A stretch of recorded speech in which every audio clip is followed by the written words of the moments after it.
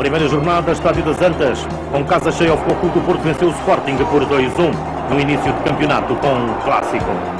Os Dragões cedo começaram a trabalhar na defesa do título, de fronte de um dos seus principais opositores. O duelo, Futebol Clube do Porto, Sporting Clube Portugal foi durante a época motivo de atração. Carlos Queiroz, na sua passagem pelo clube de Alvalade, não conseguiu uma vitória face ao Futebol Clube do Porto, que iniciou a temporada com Inácio no banco. O Sporting, muito reforçado para 95-96, marcou em primeiro lugar. Aos 24 minutos, o africano Ouattara, natural da Costa do Marfim, contratado ao clube suíço Sion, inaugurou o marcador. Ouattara, um ponta de lança-pulsão. A estrear-se ao serviço do Sporting, marcando no grande palco das Antas.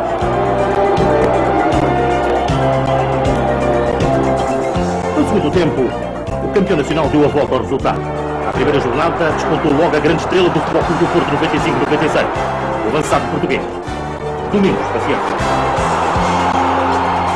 Domingos repousa a igualdade e iniciou a carreira de melhor marcador 95-96, com 33% dos gols apontados pelo Futebol do Porto. Domingos, concentrado, ágil, é um goleador.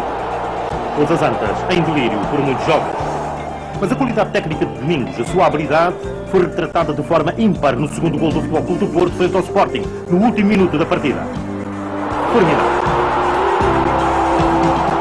Domingos, soberbo, levantou e com razão o estádio das Antas. Este gol é de grande qualidade, define o talento do seu interno. Domingos, paciência. O Clube do Porto venceu o primeiro jogo do campeonato frente ao Sporting, candidato como técnico principal.